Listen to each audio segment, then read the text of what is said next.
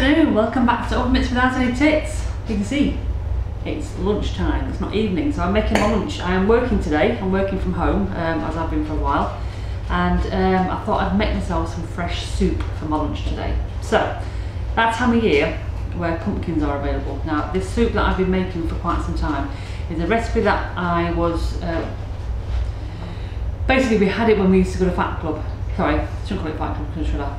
Slimming World and somebody made it for a taster night and it was really nice. I don't like pumpkin, this is another one of these ones where I don't like the vegetable that's in it, but this, this soup is delicious. So I tried it at uh, Slimming World, liked it, downloaded the recipe, and I've tweaked it slightly just to enhance it for what I think. So I'm going to use a soup maker for mine. If you've got a soup maker, great. If not, you can make it in a pan. If you make it in a pan, you need to um, put your, your onion in first, and just sort of brown up in a bit of uh, fry light or olive oil or something. And then you add all your spices, your pumpkin and everything else and leave it for about 20-25 minutes. Now you can have it chunky or you can have it smooth. I prefer smooth. So, without further ado, this really is the simplest recipe you'll ever find. Again, I've had my trusty diced onion.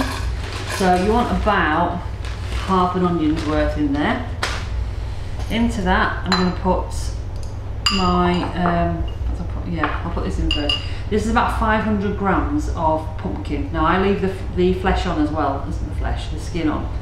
So it adds a little bit of fibre to the, uh, to the soup. So throw all that in. Add about two teaspoons of thyme.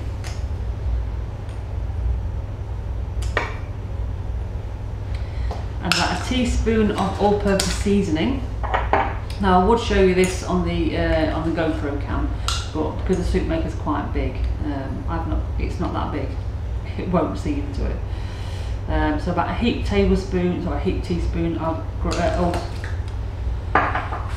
get it right. About a heaped teaspoon of all-purpose seasoning, and about 75 grams of uh, red lentils. So they're just split red lentils. Throw them in and I've made up 600 mils of vegetable stock so you just pour this in until you reach your max line in the soup maker. If you are making it in a pan just throw it all in. You know what it took, took nearly all of that. That wasn't a bad guess. Wasn't a bad guess at all. Give it a bit of a stir around. It doesn't really matter about stirring it because the soup maker has got a, a, blade in it so it's going to mix it and, and, cut it up once it's cooked anyway. So I'll pop the lid on. I have to wriggle it down a little bit to get through the uh, through the pumpkin. This will go on for I think it's about 20 minutes. There's a cream setting, you can have cream uh, soup with pieces. Um, I always go for cream, I prefer a bit smoother. So this go on about 20 minutes. Once it's done, we'll come back and we'll put a little bit of creme fraiche in it and it'll be ready to serve. So don't go anywhere and get ready for this taste sensation, honestly.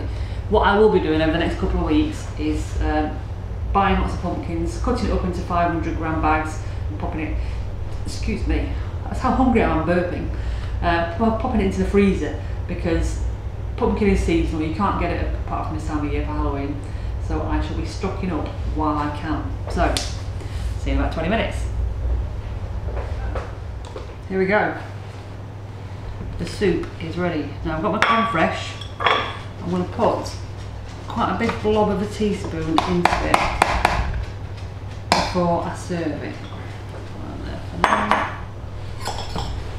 And then I'll be ready for um, everyone to just come and eat as and when they want. When I say everyone, be me. Neil might eat some as well. But. So a big blob into there and give it a stir. Now you can just put it onto individual portions if you want, the creme fraiche. But I found when I was doing that, I was forgetting to put it on.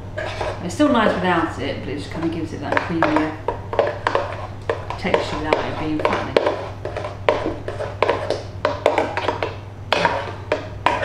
Wow, oh, smells so good. It smells delicious. I forgot how good this smelled and tasted. So I'll pop that over there for now. I'll pop that back in there. I shall pour some in. In fact, should we, should we do this uh, fancy style? We'll get the, uh, the GoPro on this. A proper close up. There we go. Those lumps are just the creme fraiche. So you can continue to give it a bit of a mix.